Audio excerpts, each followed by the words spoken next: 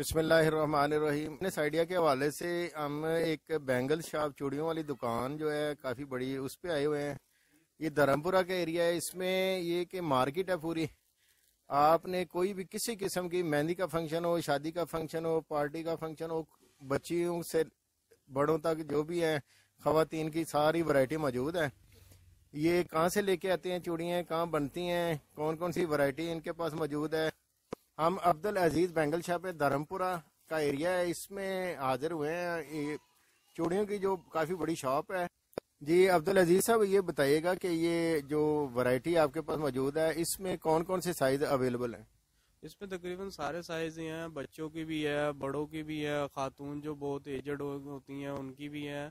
अपने पास हर तरह का माल, हर तरह की वैरायटी होती है। इसमें पाकिस्तानी भी है इंडियन भी है कुछ यहाँ की हैंडमेड है। और मेन जो हमारी वैरायटी है ज़्यादा वो है, क्या कहते हैं, हैदराबाद से ताल्लुक़ रखती क्योंकि हमारे जो चूड़ी का काम है, दुनिया में सिर्फ़ दो ही जगह होता है इंडिया के अंदर, फिरोजाबाद में और पाकिस्तान के अंदर, हैदराबाद के अंदर।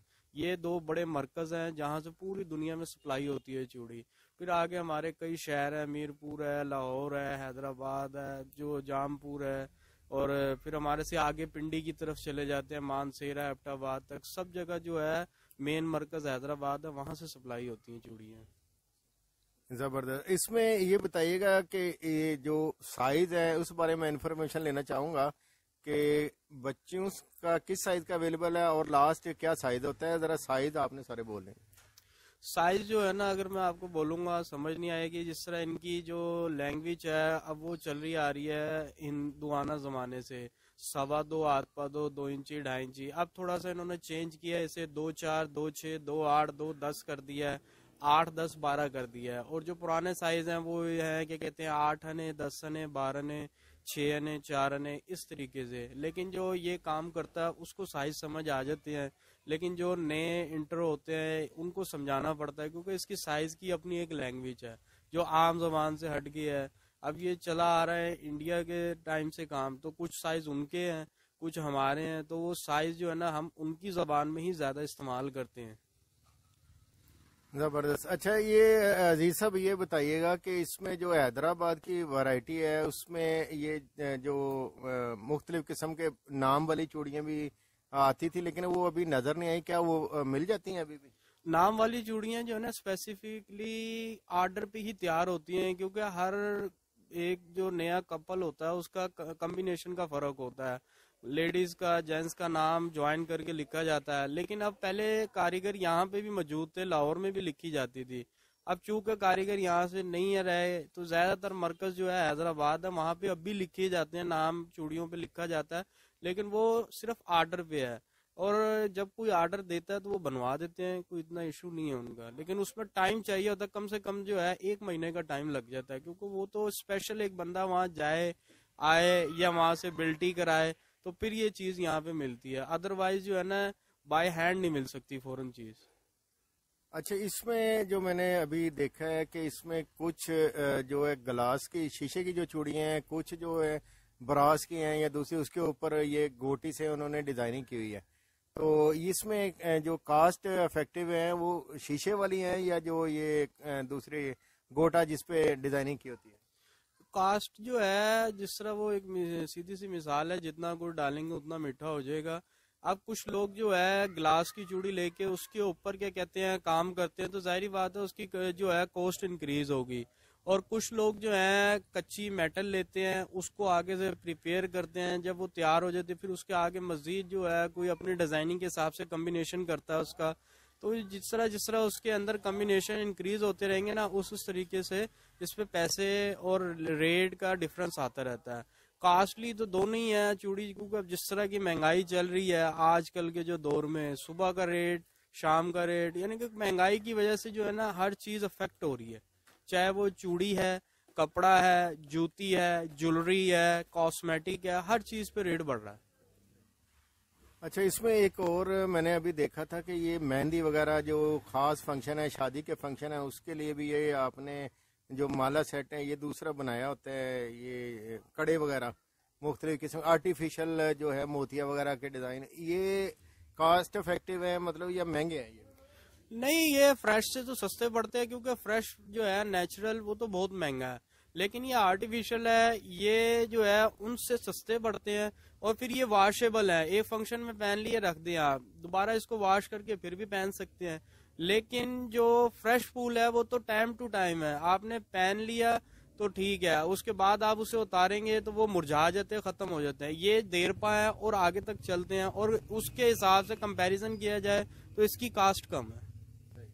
अच्छा इसमें जो बड़े खूबसूरत आपने आपके पीछे ये मैं देख रहा हूँ सेट बने होते हैं। इसमें, ये इस जो नमी वगैरह होती है, बाद बरसात में जैसे या सर्दियों के मौसम में जैसे हवा में मॉइस्चर ज़्यादा हो जाते हैं तो क्या ये सेट जो है खराब होते हैं, ब्लैक हो जाते हैं या साफ़ ही रहते हैं? ये सेट पे लेमिनेशन चढ़ी हुई होती है, जो माल हल्का बना हुआ होता है ना, उस पे जंग आ जाता है, सिर्फ़ मेटल वाली चूड़ी पे। लेकिन जो ग्लास की चूड़ी है उस पे नमी से उसको कोई इफ़ेक्ट नहीं पड़ता। लेकिन अगर कुछ ज़्यादा ही नमी हो तो फिर ज़ाहिर बात है, इसमें केमिकल रिएक्शन होती है, चीज़ें खराब हो जाती हैं। नमी से तो लोहा भी गल जाता है।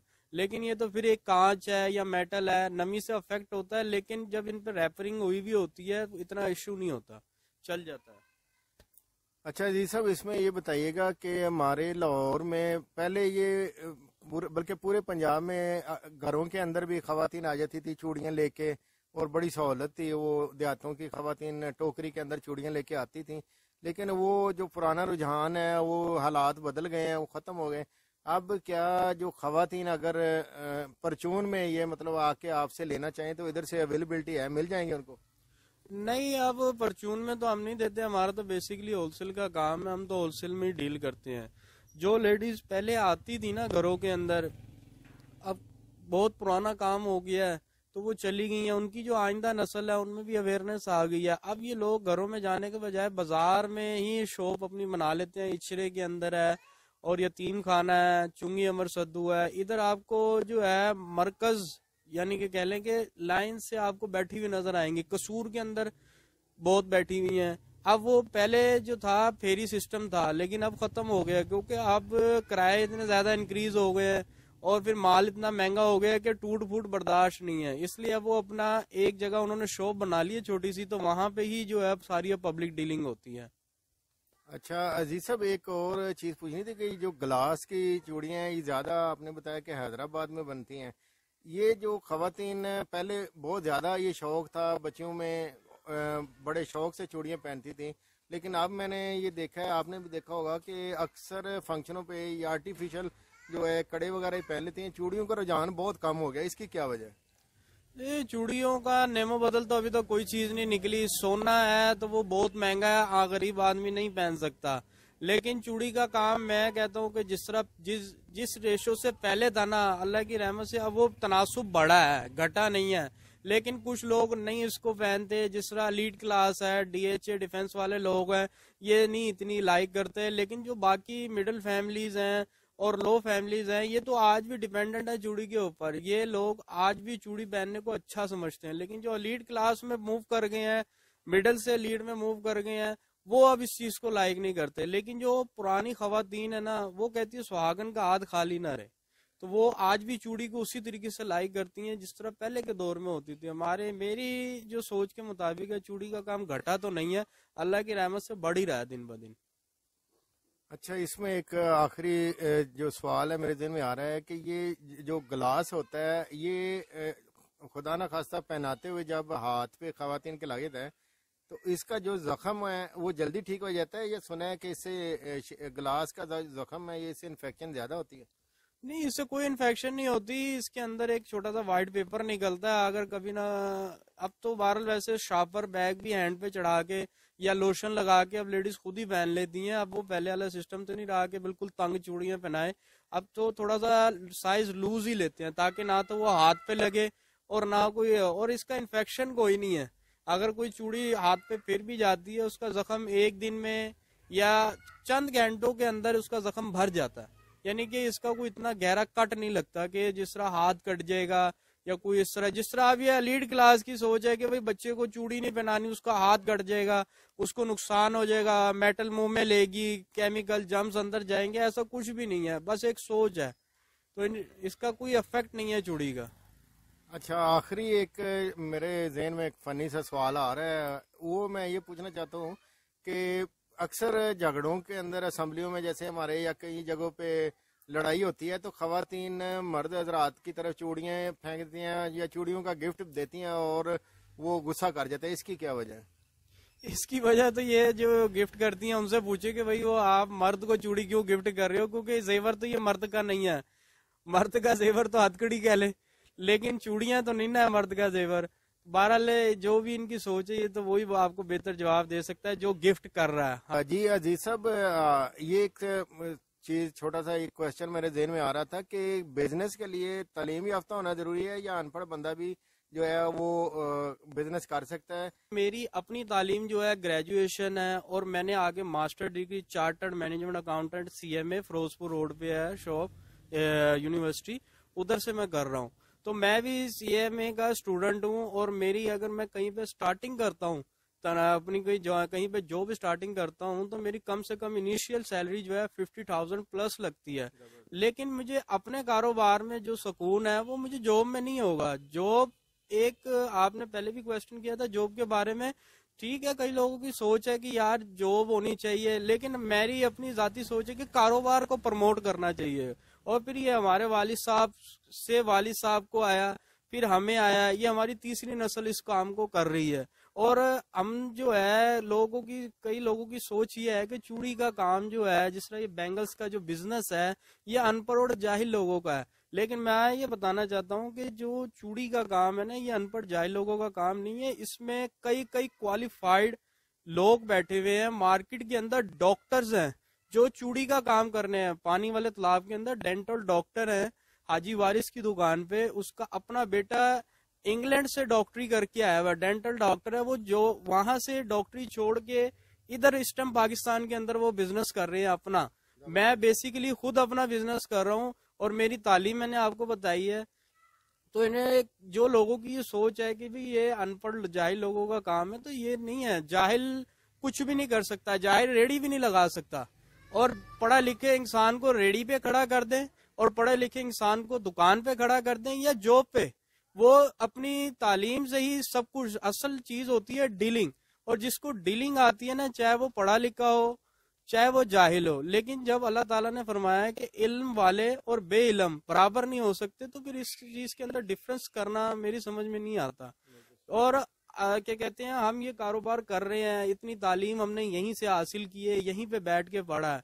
तो जो लोग ये सोचते ना कि ये अनपढ़ जाहिलों का काम है वो अपनी सोच बदले। और एक और आखिर में बात करना चाहूँगा कि हमारे जो लड़के हैं, जो यंग जनरेशन है, वो डिग्रियाँ लेके घूम रही होती हैं, लेकिन वो कोई छोटा मोटा बिज़नेस नहीं करना चाहते। मैं ये पूछना चाहूँगा कि जॉब बेहतर है या बिज़नेस? देखिए जी, हर दौर के अंदर बिज़नेस ही अच्छा होता है, क्योंकि बिज़नेस के अंदर आपको जंप लग सकता है।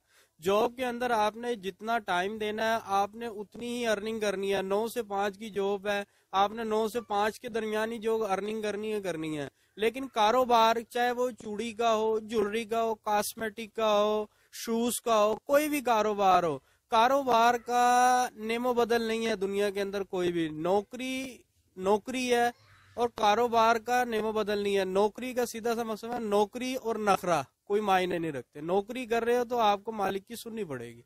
कारोबार के अंदर आपका जब दिल करे दुकान बंद करो, खोलो, कोई शोरूम बना ले, कुछ भी कर ले, कारोबार का सब्सिट्यूट नहीं है। जी अज़ीज़ साहब, बहुत शुक्रिया आपका, आपने काफ़ी ज़्यादा और तफसीली इन्फॉर्मेशन दिया हमें। बहुत शुक्रिया। अल्लाह ताला आपकी जो है बिज़नेस में बरकत डाले। दोस्तों, मेरी अगर ये वीडियो पसंद आई है तो मेरे चैनल के एच डबल ओ जे आई खोजी टीवी के नाम से है। इसको ज़रूर सब्सक्राइब कीजिएगा, साथ ही बेल आइकन का बटन दबाइएगा ताकि मेरी हर वीडियो आप तक पहुँच सके। जी, अज़ीज़ साहब, बहुत शुक्रिया। बहुत शुक्रिया जी, बहुत